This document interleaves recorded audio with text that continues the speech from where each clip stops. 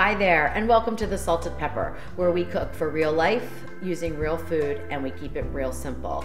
And today we are gonna make a super decadent and delicious flourless chocolate cake right in these little individual molds.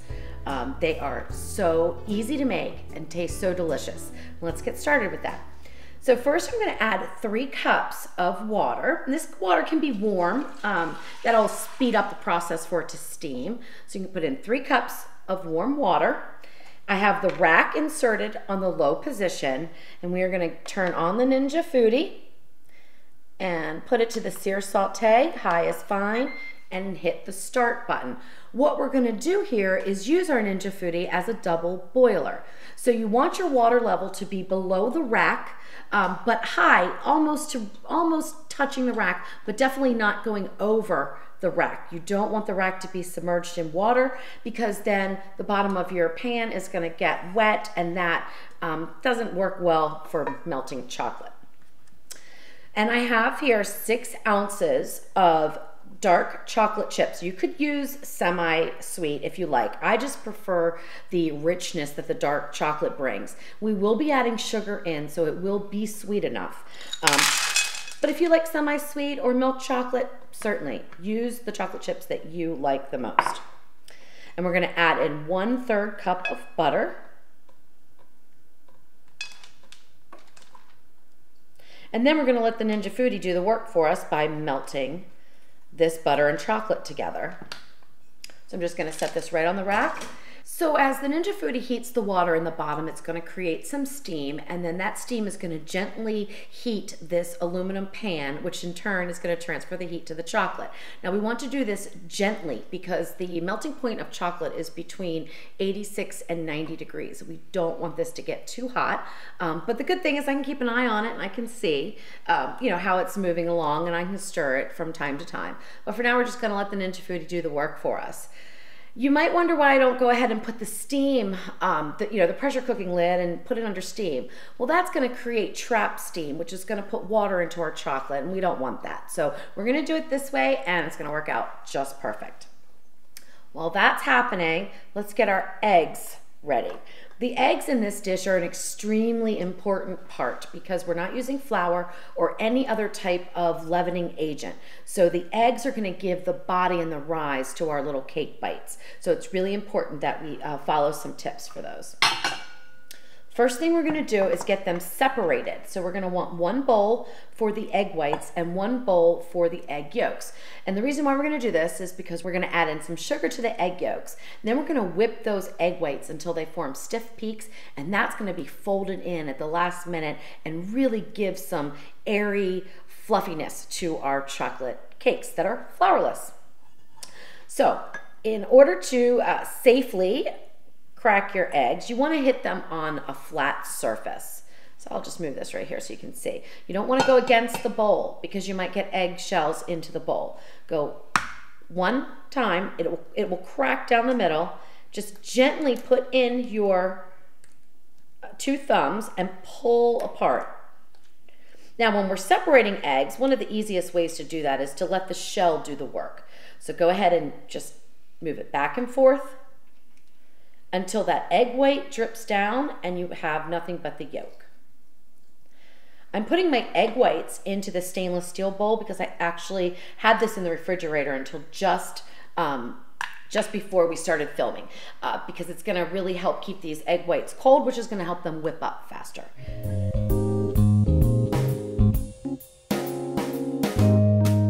Okay, so now that we've got the eggs separated, I'm gonna move the egg whites away for a minute. We're gonna work on the egg yolks because that's gonna be the first thing that we put into our chocolate. You could do this with a stand mixer. You could do this with a hand mixer. It'll go a lot faster.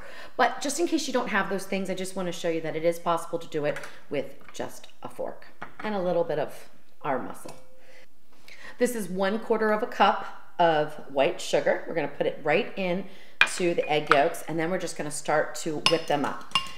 What's going to happen as the sugar incorporates into the egg yolks and I continue to put air in by whipping them with this fork, they're going to get light and fluffy and they're actually going to turn a pale yellow. We're gonna take this to what's called the ribbon stage, which means when I lift this up, it will go over the surface, form a little ribbon and stay just for a second or two till it dissolves. So let me get to this.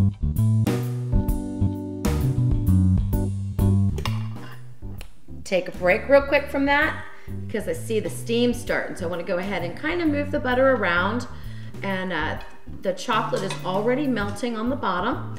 So I just wanna give that butter a chance to get in there with that chocolate and give us a nice melted ganache. This is kind of like a ganache. It doesn't have the heavy cream, but. Oh, it's looking good. It's gonna come together quickly.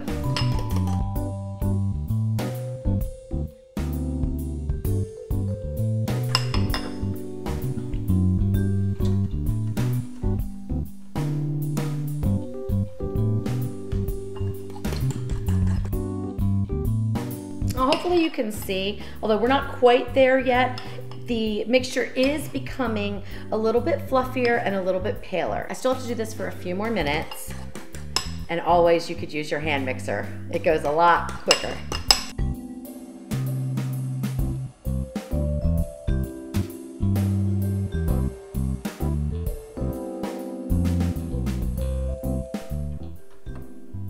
Okay, that's looking great.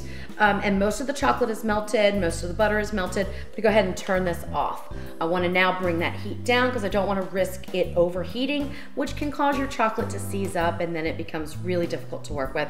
So we want to avoid that. So I'm just gonna turn this off, give it a stir. This pan that I'm using conducts heat really well. It's uh, This one is a six inch Fat Daddio cake pan, which I will link to below because they're incredible. If you're using something else that might not conduct the heat, this might take a little bit longer, but it will work for sure. You could even use a glass bowl here that we're not going under pressure, so that would be safe. So really anything you have that is safe for stovetop, you can put in here and use to melt your chocolate. Now the residual heat that's in this chocolate and butter mixture will go ahead and melt the rest of it. So I'm just gonna leave it alone for now and finish up with these eggs.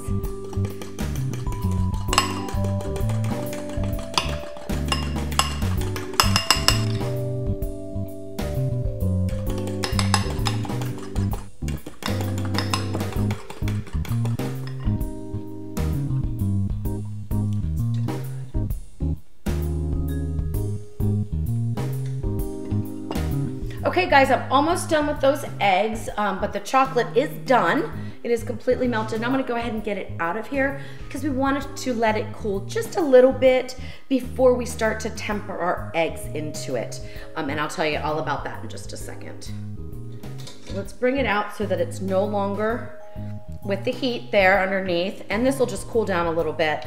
The reason why we want this to happen is because we do need to combine these two, and they need to be closer to the same temperature, or this hot chocolate will start to cook our eggs and we'll have little curdled eggs, and that doesn't look too good in our fancy dessert. So we're gonna let that cool and finish up. These have already uh, almost doubled in volume, and that's what we wanna see. They have lightened up, but they are not quite sitting on top like a ribbon. So I just need to go just a little bit longer.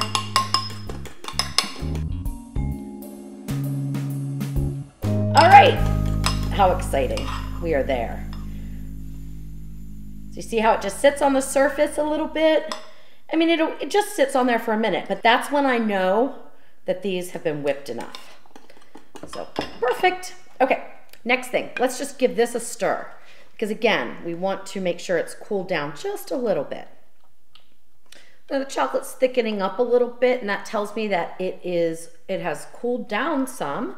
Um, so what we're gonna do is add just a little bit of the egg mixture into the chocolate. This is called tempering. So what we're doing is bringing the two temperatures of the two different mixtures closer together so we don't cook those eggs. So just pour just a little bit, probably about a tablespoon or two.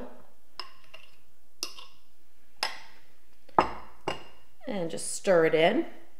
And you'll see immediately if your mixture's too hot, you'll see the eggs start to cook. I've done that before when making pecan pie. And sometimes I just leave it and sometimes I start over. All right, that's looking good. Now we can get the rest of our eggs into the chocolate.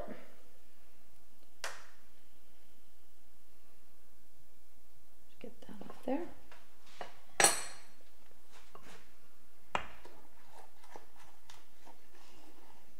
So now my eggs are like a pale yellow. That's also another indicator that they are whipped sufficiently and have enough air incorporated in them to do their job in our flourless cake.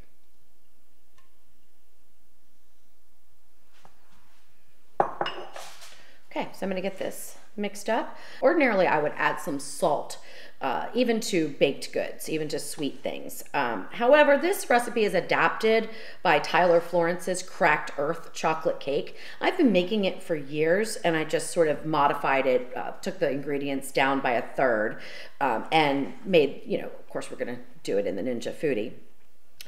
He didn't call for salt. I trust Tyler Florence, so I'm not gonna use salt in this either.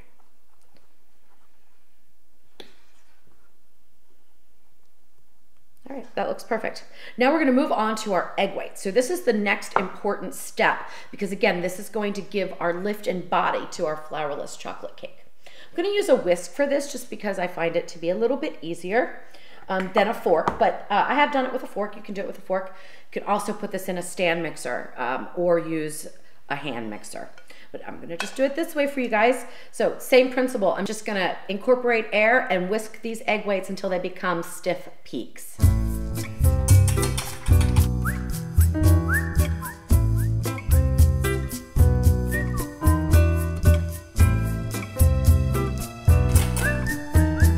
They're starting to get really nice and frothy, and that is what we want, but it's not there yet.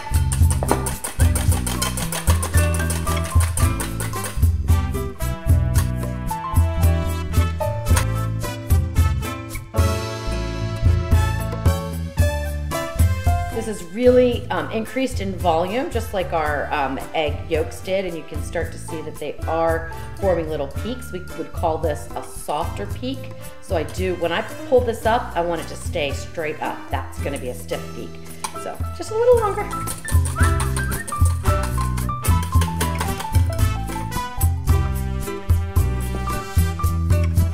Almost.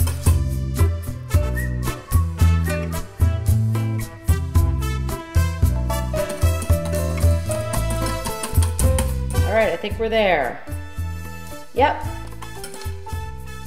See, that is a stiff peak. Perfect. Perfect. Okay, so now we are going to mix these two together by gently folding in the egg whites into the chocolate. We want to do this gently. You don't want to beat it in because you don't want to take the air out of all these fluffy egg whites that we just spent a few minutes uh, whisking up. So what I like to do is use my spatula here and I just put in a little bit of the egg white mixture, maybe about a third of it. And then I'm just gonna pick the pan up and I just gently fold it over. So I'm incorporating it without deflating it.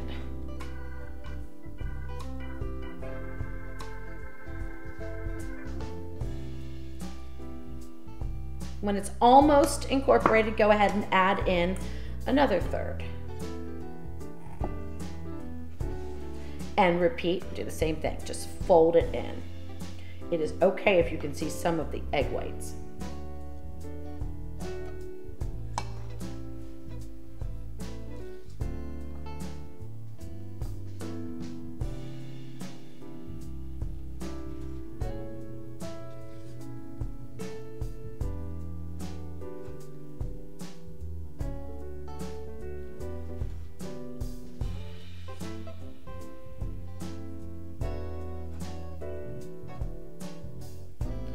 Okay, I'm gonna add in the last third and fold those in just like we did the other two times.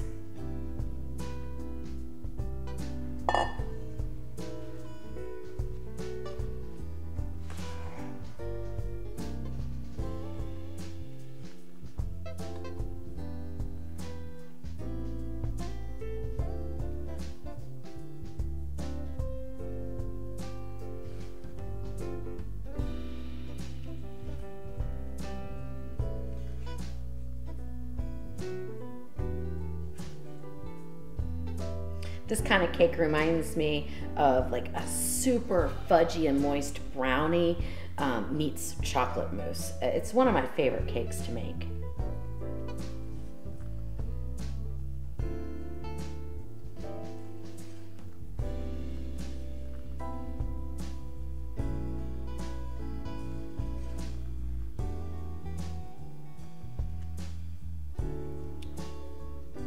Okay, so we have a nice mixture that's all folded in. It is okay if you can see a few of the egg whites. That's not gonna bother anything. And now we're gonna get them into our molds. Now that our chocolate and egg mixture has been incorporated, we're gonna go ahead and prepare our um, egg bite pan, which the, this is, I guess, what most people use these for, for egg bites, but um, I think they're perfect for these flourless chocolate cake bites. What I have here is a blend, and I will link to the recipe below because it's pretty fantastic. Um, it's a blend of flour, oil, and I think Crisco, and I use it all the time. It's called uh, cake pan grease, and I use it all the time when I'm baking. It nothing sticks. I mean, you could make the a white, really sugary cake, and it will not stick. It's fantastic. And I don't want to use a lot of it because I don't want the white to show on the outside of our beautiful chocolate bites, but I do want to brush this into every little section here, uh, especially on the top, just to prevent them from sticking. I made these the other day, and um, six came out and one didn't. So figured we'd go ahead just grease these just very lightly.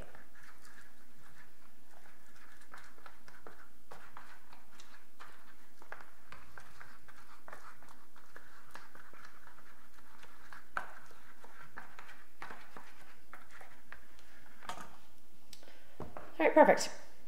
Now I'm gonna take a scoop, you could use a tablespoon, anything, and I'm just gonna scoop this in and we're gonna fill it up with two scoops and we want it to be about two thirds of the way full. This will rise up and we don't want it to overflow. The other day I went ahead and put in some chocolate chips into the center because my goal was to make a molten lava cake. And it sort of worked and sort of didn't. Um, the center got a little bit more done. So I'm gonna skip that step today, but you certainly can do it because it does add a little gooey goodness in the center there. Uh, what I found though is after I cooled them, and and went to eat them again. Then the center was hard. And I was like, yeah, that's no fun. So I'm gonna leave it out this time, but feel free to do that step if you like.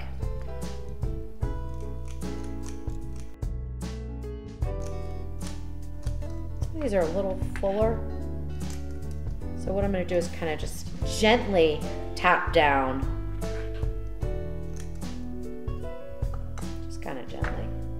Don't want to deflate, so I'm just gonna tap down just like, yeah, they're fine. Okay, that's great. Might be able to add a little bit more. Which one?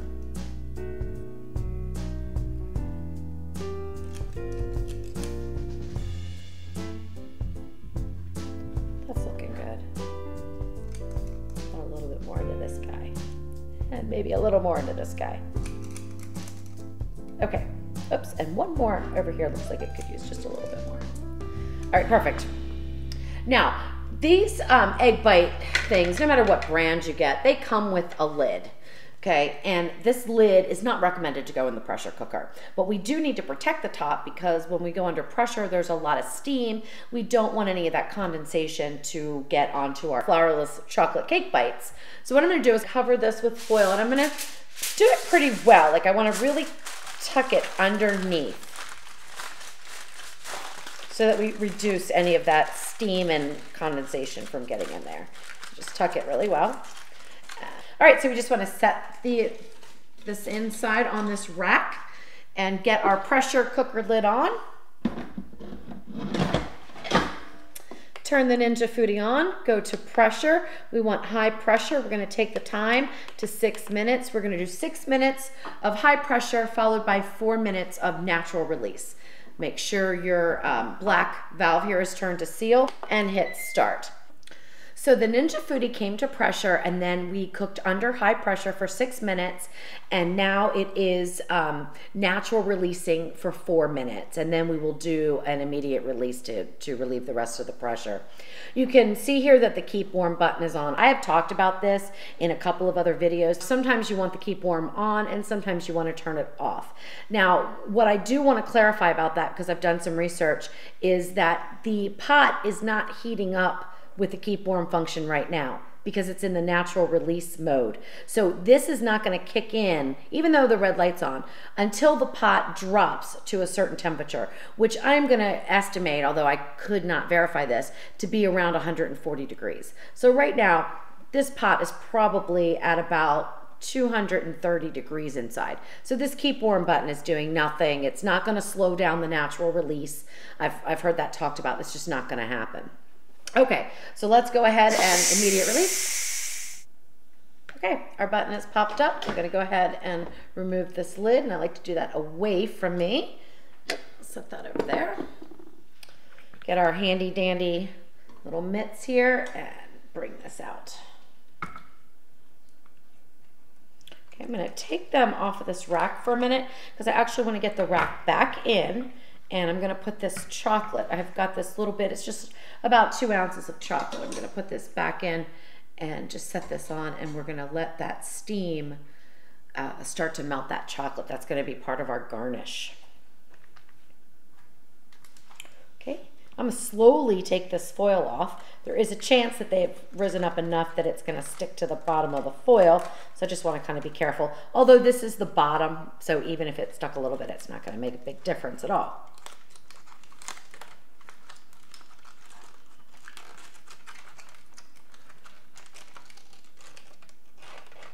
Okay, they're looking good.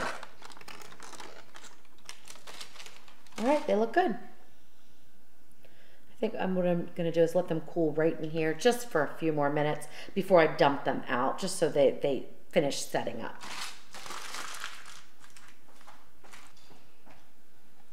So the residual steam has um, done its job fairly well to start to melt that chocolate, but I wanna get that moving along because we have a raspberry sauce to make. So I'm gonna go ahead and turn this on, sear saute, turn it on high, and go ahead and start. That's just gonna get that water a little bit hotter and melt that chocolate just a little bit quicker. So we have the cake bites. Now, what I can see here is that I probably could have filled them all the way to the top without running the risk of them um, overflowing. So go ahead and use all of the um, chocolate mixture when you want to make your cake bites. There's plenty of room in here for that. So now I'm just going to gently kind of turn them over and press each one individually onto my cutting board.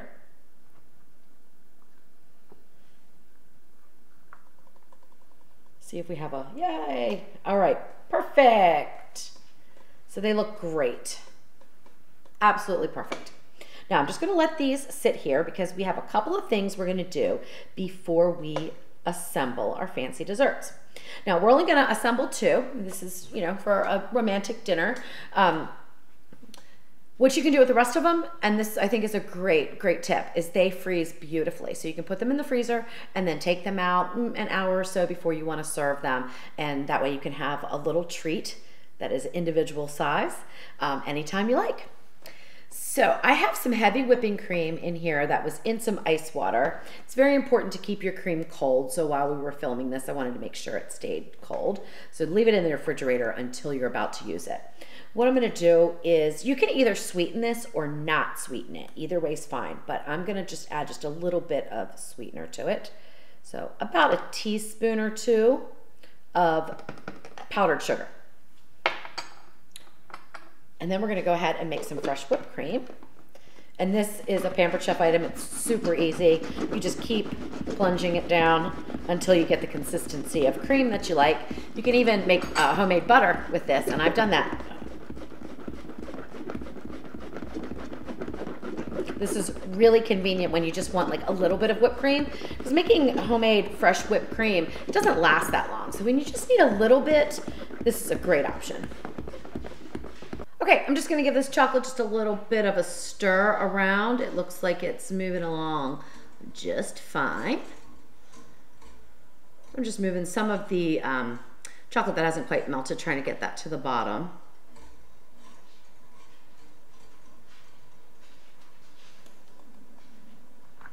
We are almost done with our whipped cream. So let's take a peek here. All right, that looks good.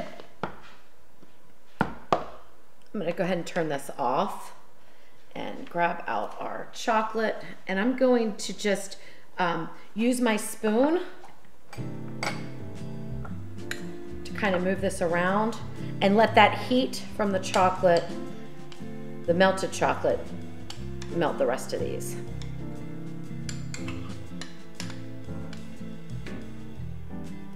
I've got some that are a little stubborn, so I think I'm gonna put it right back in, but I'm not gonna turn the Ninja Foodi back on. I'm just gonna set it right back in here. That residual steam's gonna take care of it.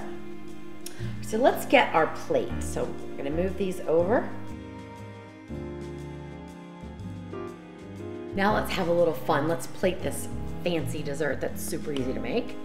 Just gonna take this cream here and just get a good tablespoon or two. put it right down here. Do one more. Move this all in I'll make it easier for me.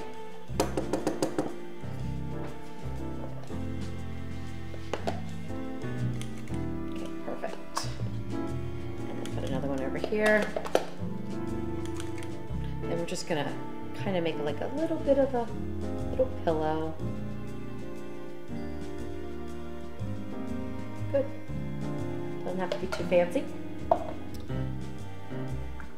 So the residual heat from um, the heated chocolate finished melting the rest of those chocolate chips. Um, and you know, you could always set it back in the Foodi or you could even put it in the microwave uh, for a second if you need to. But definitely if you're gonna microwave chocolate, you need to do it at very short spurts, like five to 10 seconds at a time, because you don't wanna overheat the chocolate or it will seize up. So now I'm done with the Ninja Foodi with the water in there. We're gonna make our, our raspberry sauce in here. So I'm gonna, um, real quick, dump the water. Okay, I'm gonna turn the Ninja Foodi on. Sear saute. We have about a half a cup of raspberries. These are just frozen raspberries. I like to get them fresh when they're in season and then I individually freeze them. So I put them on a sheet pan, freeze them for a couple of hours, and then put them into a freezer baggie. And they're really easy to access that way. You could take out a few at a time or, or a scoop or, or whatever you like.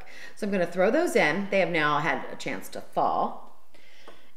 And we're also gonna add in, this is a half a cup of sugar. I'm gonna add in about half of that, so about a quarter cup of sugar. Then we're gonna let the pan heat up. It's gonna start to um, break down the raspberries, dissolve the sugar, and we're gonna end up with a nice little syrup that's gonna go over top of our fancy dessert. So I'm gonna move this out of the way for right now, and we're gonna get our chocolate balls covered in chocolate. I've got this uh, parchment paper here. And we'll take, let's take the prettiest two. This one looks really pretty. And let's see, this one looks really pretty. Okay. So what I'm gonna do is just drizzle this melted chocolate on top. Now this is totally optional. I mean, these things are so delicious um, just as they are, but this is for a special occasion, so I wanna make it special. So I'm just gonna go from the center, go around and let it drip down the sides. Doesn't have to be perfect.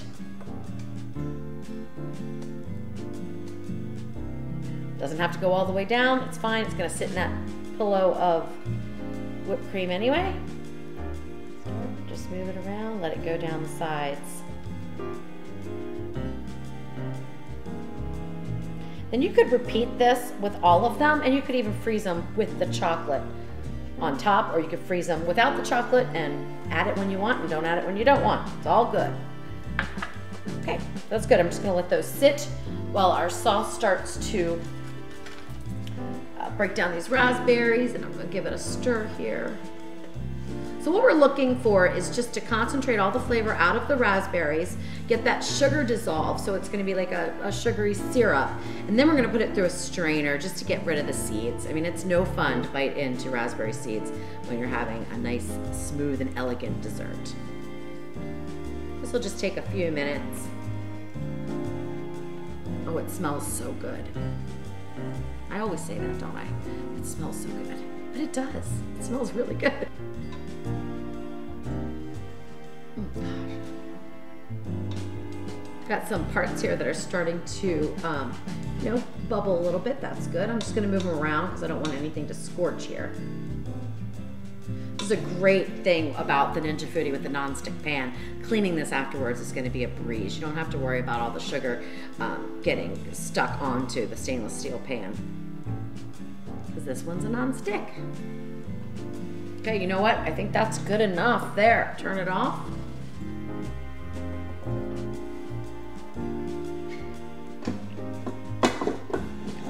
Right, so I'm just gonna lift this up. This is gonna be very concentrated. Right, just put that right in there.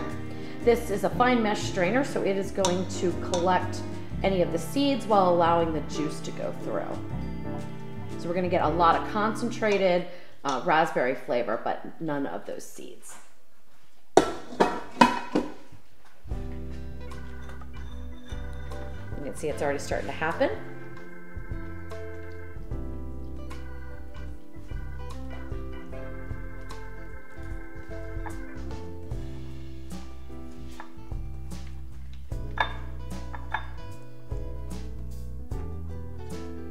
If you wanted a thicker sauce, you could always um, do this step and then put your sauce back in with a little more sugar and it will thicken up for you. But I think this little syrup is gonna be just fine for us.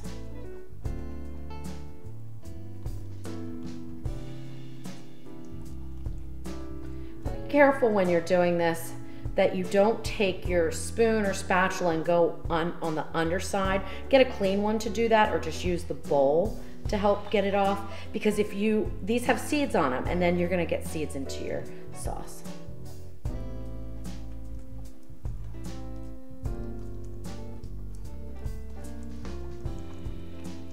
All right, that's plenty. And I could probably extract a little bit more out of there, but this is gonna be fine for what we need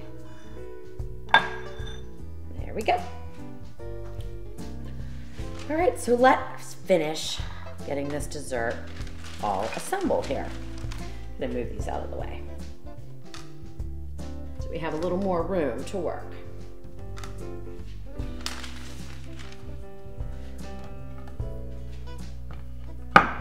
Okay, so there's a couple of ways you could assemble this, and really it's up to you how you want to do it. You put the, um, the little cake bites right on top of the pillows of whipped cream. You could put a little bit of the raspberry underneath. You could top it with the raspberry. I mean, it's really, it's up to you. What I'm gonna do though is I'm gonna go ahead and take a little bit of this and I'm gonna put it underneath. Just because when I bite into the dessert, I really like to get that whipped cream and the tartness from the um, raspberry sauce. I just think that's great. I'm just gonna pick these little babies up. Put them right here.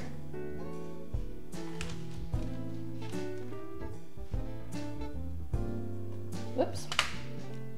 A little messy, huh? Okay. Now we wanna top it with a little bit more of our raspberry. I'm not doing a very good job, guys, of being fancy here.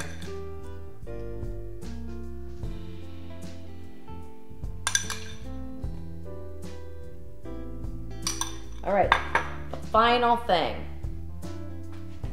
And this, again, totally optional, but this is just a little bit of powdered sugar. Just put it right on top. Don't worry if it goes on your platter, that makes it look pretty. And there we go. Super easy and delicious dark chocolate flourless cake bite on a pillow of whipped cream with a raspberry sauce. Now let's taste it. All right, now for the best part, we're gonna bite into this. Now I wanna do it this way so you guys can really see how decadent and fluffy this little cake bite is.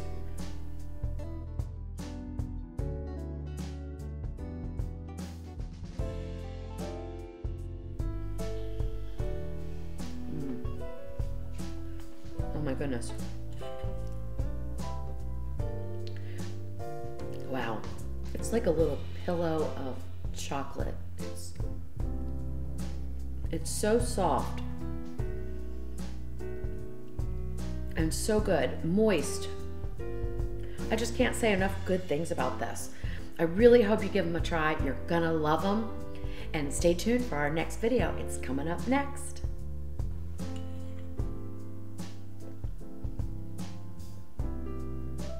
This is the perfect dessert. Seriously. It is so good. Mmm.